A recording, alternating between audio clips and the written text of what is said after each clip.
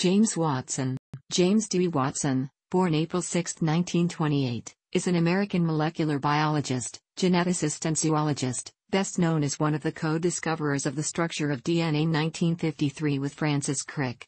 Watson, Crick, and Maurice Wilkins were awarded the 1962 Nobel Prize in Physiology or Medicine for their discoveries concerning the molecular structure of nucleic acids and its significance for information transfer in living material. Watson earned degrees at the University of Chicago, B.S., 1947, and Indiana University, Ph.D., 1950. Following a postdoctoral year at the University of Copenhagen with Herman Kalckar and Ole Maaloe, later Watson worked at the University of Cambridge's Cavendish Laboratory in England, where he first met his future collaborator and friend Francis Crick. From 1956 to 1976, Watson was on the faculty of the Harvard University Biology Department, promoting research in molecular biology. From 1968 he served as director of Cold Spring Harbor Laboratory, CSHL, greatly expanding its level of funding and research. At CSHL, he shifted his research emphasis to the study of cancer, along with making it a world-leading research center in molecular biology. In 1994, he started as president and served for 10 years. He was then appointed chancellor, serving until he resigned in 2007 after making controversial comments claiming a link between intelligence and race. Between 1988 and 1992, Watson was associated with the National Institutes of Health, helping to establish the Human Genome Project. Watson has written many science books, including the textbook Molecular Biology of the Gene, 1965, and his best-selling book The Double Helix, 1968. James D. Watson was born in Chicago, Illinois, on April 6, 1928, as the only son of Jean, Mitchell, and James D. Watson, a businessman descended mostly from colonial English immigrants to America. His mother's father, Lachlan Mitchell, a tailor, was from Glasgow, Scotland, and her mother, Lizzie Gleason, was the child of Irish parents from County Tipperary. Raised Catholic, he later described himself as an escapee from the Catholic religion. Watson said, the luckiest thing that ever happened to him was that my father didn't believe in God. Watson grew up on the south side of Chicago and attended public schools, including Horace Mann Grammar School and South Shore High School. He was fascinated with birdwatching, a hobby shared with his father, so he considered majoring in ornithology. Watson appeared on Quiz Kids, a popular radio show that challenged bright youngsters to answer questions. Thanks to the liberal policy of university president Robert Hutchins, he enrolled at the University of Chicago, where he was awarded a tuition scholarship, at the age of 15. After reading Erwin Schrödinger's book What is Life? In 1946, Watson changed his professional ambitions from the study of ornithology to genetics. Watson earned his BS degree in zoology from the University of Chicago in 1947. In his autobiography, Avoid Boring People, Watson described the University of Chicago as an idyllic academic institution where he was instilled with the capacity for critical thought and an ethical compulsion not to suffer fools who impeded his search for truth, in contrast to his description of later experiences. In 1947 Watson left the University of Chicago to become a graduate student at Indiana University, attracted by the presence at Bloomington of the 1946 Nobel Prize winner Hermann Joseph Muller, who in crucial papers published in 1922, 1929, and in the 1930s had laid out all the basic properties of the heredity molecule that Schrödinger presented in his 1944 book. He received his PhD degree from Indiana University in 1950. Salvador Luria was his doctoral advisor. Originally, Watson was drawn into molecular biology by the work of Salvador Luria. Luria eventually shared the 1969 Nobel Prize in Physiology or Medicine for his work on the Luria-Delbruck experiment, which concerned the nature of genetic mutations. He was part of a distributed group of researchers who were making use of the viruses that infect bacteria, called bacteriophages. He and Max Delbruck were among the leaders of this new phage group, an important movement of geneticists from experimental systems such as Drosophila towards microbial genetics. Early in 1948, Watson began his PhD research in Luria's laboratory at Indiana University. That spring, he met Delbruck first in Luria's apartment and again that summer during Watson's first trip to the Cold Spring Harbor Laboratory, CSHL. The phage group was the intellectual medium where Watson became a working scientist. Importantly, The members of the phage group sensed that they were on the path to discovering the physical nature of the gene. In 1949, Watson took a course with Felix Haurowitz that included the conventional view of that time that genes were proteins and able to replicate themselves. The other major molecular component of chromosomes, DNA, was widely considered to be a stupid tetranucleotide, serving only a structural role to support the proteins. However, even at this early time, Watson, under the influence of the phage group, was aware of the Avery MacLeod McCarty experiment, which suggested that DNA was the genetic molecule. Watson's research project involved using X-rays to inactivate bacterial viruses. Watson then went to Copenhagen University in September 1950 for a year of postdoctoral research, first heading to the laboratory of biochemist Hermann Kalckar. Kalckar was interested in the enzymatic synthesis of nucleic acids, and he wanted to use phages as an experimental system. Watson, however, wanted to explore the structure of DNA, and his interests did not coincide with Kalckar's. After working part of the year with Kalckar, Watson spent the remainder of his time in Copenhagen conducting experiments with microbial physiologist Maaloe, then a member of the phage group. The experiments, which Watson had learned of during the previous summer's Cold Spring Harbor Phage Conference, included the use of radioactive phosphate as a tracer to determine which molecular components of phage particles actually infect the target bacteria during viral infection. The intention was to determine whether protein or DNA was the genetic material, but upon consultation with Max Delbruck, they determined that their results were inconclusive and could not specifically identify the newly labeled molecules as DNA. Watson never developed a constructive interaction with Kalckar, but he did accompany Kalckar to a meeting in Italy, where Watson saw Maurice Wilkins talk about his X-ray diffraction data for DNA. Watson was now certain that DNA had a definite molecular structure that could be elucidated. In 1951, the chemist Linus Pauling in California published his model of the amino acid alpha helix, a result that grew out of Pauling's efforts in X-ray crystallography and molecular model building. After obtaining some results from his phage and other experimental research conducted at Indiana University, Statens Serum Institute, Denmark, CSHL, and the California Institute of Technology, Watson now had the desire to learn to perform X-ray diffraction experiments so he could work to determine the structure of DNA. That summer, Luria met John Kendrew, and he arranged for a new postdoctoral research project for Watson in England. In 1951, Watson visited the Stazione Zoologica Anton Dohrn in Naples. In mid March 1953, Watson and Crick deduced the double helix structure of DNA. Crucial to their discovery were the experimental data collected at King's College, mainly by Rosalind Franklin, under the supervision of Maurice Wilkins. Sir Lawrence Bragg, the director of the Cavendish Laboratory, where Watson and Crick worked, made the original announcement of the discovery at a Solvay conference on proteins in Belgium on April 8, 1953. It went unreported by the press. Watson and Crick submitted a paper entitled to the scientific journal Nature, which was published on April 25, 1953. This has been described by some other biologists and Nobel laureates as the most important scientific discovery of the 20th century. Bragg gave a talk at the Guy's Hospital Medical School in London on Thursday, May 14, 1953, which resulted in a May 15, 1953, article by Ritchie Calder in the London newspaper News Chronicle, entitled Why You Are You. Nearer Secret of Life. Sidney Brenner, Jack Dunitz, Dorothy Hodgkin, Leslie Orgel, and Beryl M. Oughton were some of the first people in April 1953 to see the model of the structure of DNA, constructed by Crick and Watson. At the time, they were working at Oxford University's chemistry department. All were impressed by the new DNA model, especially Brenner, who subsequently worked with Crick at Cambridge in the Cavendish Laboratory and the new Laboratory of Molecular Biology. According to the late Beryl Oughton, later Rimmer, they all traveled together in two cars once Dorothy Hodgkin announced to them that they were off to Cambridge to see the model of the structure of DNA. The Cambridge University student newspaper Varsity also ran its own short article on the discovery on Saturday, May 30, 1953. Watson subsequently presented a paper on the double helical structure of DNA at the 18th Cold Spring Harbor Symposium on Viruses in early June 1953, six weeks after the publication of the Watson and Crick paper in Nature.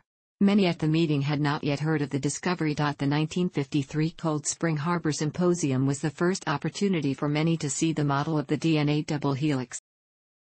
Watson, Crick, and Wilkins were awarded the Nobel Prize in Physiology or Medicine in 1962 for their research on the structure of nucleic acids. Rosalind Franklin had died in 1958 and was therefore ineligible for nomination. The publication of the double helix structure of DNA can be regarded as a turning point in science. Human understanding of life was fundamentally changed and the modern era of biology began. In 1956, Watson accepted a position in the biology department at Harvard University. His work at Harvard focused on RNA and its role in the transfer of genetic information. At Harvard University, Watson achieved a series of academic promotions from assistant professor to associate professor to full professor of biology. Watson claimed, however, that he was refused a $1,000 raise in salary after winning the Nobel Prize. He championed a switch in focus for the school from classical biology to molecular biology, stating that disciplines such as ecology, developmental biology, taxonomy, physiology, etc. had stagnated and could progress only once the underlying disciplines of molecular biology and biochemistry had elucidated their underpinnings, going so far as to discourage their study by students. Watson continued to be a member of the Harvard faculty until 1976, even though he took over the directorship of Cold Spring Harbor Laboratory in 1968. Views on Watson's scientific contributions while at Harvard are somewhat mixed. His most notable achievements in his two decades at Harvard may be what he wrote about science, rather than anything he discovered during that time. Watson's first textbook, The Molecular Biology of the Gene, set a new standard for textbooks, particularly through the use of concept heads, brief declarative subheadings. His next textbook was Molecular Biology of the Cell, in which he coordinated the work of a group of scientist writers. His third textbook was Recombinant DNA, which describe the ways in which genetic engineering has brought much new information about how organisms function. The textbooks are still in print. In 1968, Watson wrote The Double Helix, listed by the Board of the Modern Library as number 7 in their list of 100 best nonfiction books. The book details the sometimes painful story of not only the discovery of the structure of DNA, but also the personalities, conflicts, and controversies surrounding their work. Watson's original title was to have been Honest Jim, in that the book recounts the discovery of the double helix from Watson's point of view and included many of his private emotional impressions at the time. Some controversy surrounded the publication of the book. Watson's book was originally to be published by the Harvard University Press, but Francis Crick and Maurice Wilkins objected, among others. Watson's home university dropped the project and the book was commercially published. In 1968, Watson became the director of the Cold Spring Harbor Laboratory, CSHL. Between 1970 and 1972, the Watsons' two sons were born, and by 1974, the young family made Cold Spring Harbor their permanent residence. Watson served as the laboratory's director and president for about 35 years, and later he assumed the role of chancellor and then chancellor emeritus. In his roles as director, president, and chancellor, Watson led CSHL to articulate its present day mission, dedication to exploring molecular biology and genetics in order to advance the understanding and ability to diagnose and treat cancers, neurological diseases, and other causes of human suffering. CSHL substantially expanded both its research and its science educational programs under Watson's direction. He is credited with transforming a small facility into one of the world's great education and research institutions. Initiating a program to study the cause of human cancer, Scientists under his direction have made major contributions to understanding the genetic basis of cancer. In a retrospective summary of Watson's accomplishments there, Bruce Stillman, the laboratory's president, said, Jim Watson created a research environment that is unparalleled in the world of science. In October 2007, Watson was suspended following criticism of his views on genetic factors relating to intelligence, and a week later, on the 25th, he retired at the age of 79 from CSHL from what the lab called nearly 40 years of distinguished service. In a statement, Watson attributed his retirement to his age and circumstances that he could never have anticipated or desired. In 1990, Watson was appointed as the head of the Human Genome Project at the National Institutes of Health, a position he held until April 10, 1992. Watson left the Genome Project after conflicts with the new NIH director, Bernadine Healy. Watson was opposed to Healy's attempts to acquire patents on gene sequences, and any ownership of the laws of nature. Two years before stepping down from the Genome Project, He had stated his own opinion on this long and ongoing controversy, which he saw as an illogical barrier to research. He said, The nations of the world must see that the human genome belongs to the world's people, as opposed to its nations. He left within weeks of the 1992 announcement that the NIH would be applying for patents on brain specific cDNAs. The issue of the patentability of genes has since been resolved in the U.S. by the U.S. Supreme Court, see Association for Molecular Pathology v. U.S. Patent and Trademark Office. In 1994, Watson became president of CSHL. Francis Collins took over the role as director of the Human Genome Project. In 2007, James Watson became the second person to publish his fully sequenced genome online, after it was presented to him on May 31, 2007, by 454 Life Sciences Corporation in collaboration with scientists at the Human Genome Sequencing Center, Baylor College of Medicine. Watson was quoted as saying, I am putting my genome sequence online to encourage the development of an era of personalized medicine, in which information contained in our genomes can be used to identify and prevent disease and to create individualized medical therapies. In 2014, Watson published a paper in The Lancet suggesting that biological oxidants may have a different role than is thought in diseases including diabetes, dementia, heart disease, and cancer.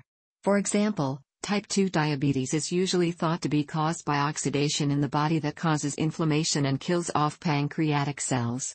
Watson thinks the root of that inflammation is different, a lack of biological oxidants, not an excess, and discusses this in detail. One critical response was that the idea was neither new nor worthy of merit, and that The Lancet published Watson's paper only because of his name. However, other scientists have expressed their support for his hypothesis and have proposed that it can also be expanded to why a lack of oxidants can result in cancer on its progression. Several of Watson's former doctoral students subsequently became notable in their own right including, Mario Capecchi, Bob Horvitz, Peter B. Moore and Joan Steitz. Besides numerous PhD students, Watson also supervised postdoctoral students and other interns including Ewan Birney, Ronald W. Davis, Philip Allen Sharp, postdoc, John Tooze, postdoc, and Richard J. Roberts, postdoc. Watson is a former member of the board of directors of United Biomedical Incorporated, founded by Changyi Wang. He held the position for six years and retired from the board in 1999. In January 2007, Watson accepted the invitation of Leonore Beleza, president of the Champalimaud Mo Foundation, to become the head of the foundation's scientific council, an advisory organ. Watson has also been an institute advisor for the Allen Institute for Brain Science. During his tenure as a professor at Harvard, Watson participated in several political protests. An enduring controversy has been generated by Watson and Crick's unauthorized use of DNA X-ray diffraction data collected by Rosalind Franklin and Raymond Gosling. The controversy arose from Watson and Crick using some of Franklin's unpublished data, without her consent, in their construction of the double helix model of DNA. Franklin's experimental results provided estimates of the water content of DNA crystals and these results were consistent with the two sugar phosphate backbones being on the outside of the molecule.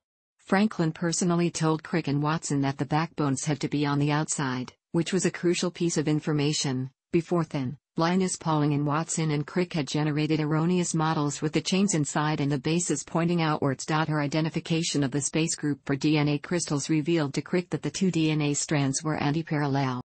The X-ray diffraction images collected by Gosling and Franklin provided the best evidence for the helical nature of DNA. Franklin's experimental work thus proved crucial in Watson and Crick's discovery. Watson and Crick had three sources for Franklin's unpublished data. Prior to publication of the double helix structure, Watson and Crick had little interaction with Franklin. Crick and Watson felt that they had benefited from collaborating with Wilkins. They offered him a co-authorship on the article that first described the double helix structure of DNA. Wilkins turned down the offer, a fact that may have led to the terse character of the acknowledgement of experimental work done at King's College in the eventual published paper. Rather than make any of the DNA researchers at King's College co authors on the Watson and Crick double helix article, the solution that was arrived at was to publish two additional papers from King's College along with the helix paper. According to one critic, Watson's portrayal of Franklin in the double helix, written after Franklin's death when libel laws did not apply anymore, was negative and gave the appearance that she was Wilkins' assistant and was unable to interpret her own DNA data. The latter accusation was indefensible since Franklin herself told Crick and Watson that the helix backbones had to be on the outside. In his book The Double Helix, Watson described being intimidated by Franklin and that they were unable to establish constructive scientific interactions during the time period when Franklin was doing DNA research. In the book's epilogue, written after Franklin's death, Watson acknowledges his early impressions of Franklin were often wrong, that she faced enormous barriers as a woman in the field of science even though her work was superb, and that it took them years to overcome their bickering before he could appreciate Franklin's generosity and integrity. A review of the handwritten correspondence from Franklin to Watson, located in the archives at CSHL, reveals that the two scientists later had exchanges of constructive scientific correspondence. In fact, Franklin consulted with Watson on her tobacco mosaic virus RNA research. Franklin's letters begin on friendly terms with Dear Jim, and conclude with equally benevolent and respectful sentiments such as best wishes, yours, Rosalind. Each of the scientists published their own unique contributions to the discovery of the structure of DNA in separate articles, and all of the contributors published their findings in the same volume of Nature. These classic molecular biology papers are identified as Watson JD and Crick FHC A Structure for Deoxyribose Nucleic Acid Nature 171737-738, 1953, Wilkins MHF, Stokes AR and Wilson, HR Molecular Structure of Deoxypentose Nucleic Acids Nature 171, 738 to 740, 1953. Franklin R. and Gosling RG Molecular Configuration in Sodium Thymonucleate Nature 171, 740 to 741, 1953.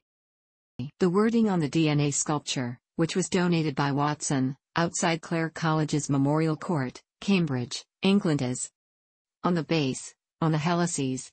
Watson has often expressed provocative concepts and disparaging opinions of others within the realm of genetic research. In his memoir, Avoid Boring People Lessons from a Life in Science, Watson describes his academic colleagues as dinosaurs, deadbeats, fossils, has-beens, mediocre, and vapid.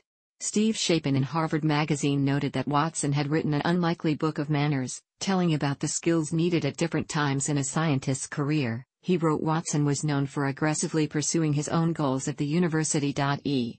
O. Wilson once described Watson as the most unpleasant human being I had ever met, but in a later TV interview said that he considered them friends in their rivalry at Harvard Old History, when they had competed for funding in their respective fields. In the epilogue to the memoir Avoid Boring People, Watson alternately attacks and defends former Harvard University President Lawrence Summers, who stepped down in 2006 due in part to his remarks about women in science. Watson also states in the epilogue anyone sincerely interested in understanding theme balance in the representation of men and women in science must reasonably be prepared at least to consider the extent to which nature may figure, even with the clear evidence that nurture is strongly implicated. In early October 2007, Watson was about to embark on a UK book tour to promote the memoir. He was interviewed by Charlotte Hunt Grubbe at CSHL. In 1996, she had been a student there in a program in which Watson recruited students to live at his family home and work at CSHL for a year. Hunt Grubbe had gone on to work for the Sunday Times magazine. She was selected for the interview as she was one of the few women to have been mentored by him. Hunt Grubbe broached the subject of whether race was a factor in his hypothesis of divergence of intellect between geographically isolated populations. The following is a transcript of that part of the interview. Though other publications noted that the paper had kept the profile sympathetic and placed D, the comments at the end of the piece, the article was a public relations disaster for Watson. The Sunday Times Magazine editor Kathy Galvin noted, it was important the reader understood Charlotte's relationship with Watson and her regard for him before exploring the explosive and unscientific territory of his opinions and history of statements about women, race, and abortion which have stirred so much controversy in the past. Watson's comments drew attention and criticism in the UK.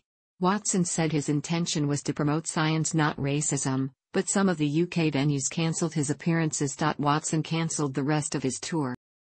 Because of the public controversy, on October 18, 2007, the Board of Trustees at Cold Spring Harbor Laboratory suspended Watson's administrative responsibilities. On October 19, Watson issued an apology. On October 25, he resigned from his position as Chancellor. In 2008, Watson was appointed Chancellor Emeritus of CSHL. He continues to advise and guide project work at the laboratory. In a 2008 BBC documentary, Watson said, I have never thought of myself as a racist. I don't see myself as a racist. I am mortified by it. It was the worst thing in my life. An editorial in Nature at the time said that his remarks were beyond the pale, but wished that the tour had not been cancelled so that Watson would be forced to face his critics in person, encouraging scientific discussion on the matter. In 2014, Watson decided to auction off his Nobel Prize medal in view of his diminished income after the 2007 incident and to use part of the funds raised by the sale to support scientific research. The medal sold at auction at Christie's in December 2014 for Watson intended to contribute the proceeds to conservation work in Long Island and to funding research at Trinity College, Dublin, as well as the purchase of artwork. Watson is the first living Nobel recipient to auction the medal. The medal was subsequently returned to Watson by the purchaser, Uzbek tycoon Alisher Usmanov, who stated that Watson deserved the medal and that a situation in which an outstanding scientist has to sell a medal recognizing his achievements is unacceptable. Watson is an atheist. In 2003, he was one of 22 Nobel laureates who signed the Humanist Manifesto. Watson married Elizabeth Lewis in 1968. They have two sons, Rufus Robert Watson, born 1970, and Duncan James Watson, b. 1972. Watson sometimes talks about his son Rufus, who suffers from schizophrenia, seeking to encourage progress in the understanding and treatment of mental illness b. determining how genetics contribute to it. Watson has won numerous awards including. Thanks for watching. Don't forget like the video and don't forget to subscribe.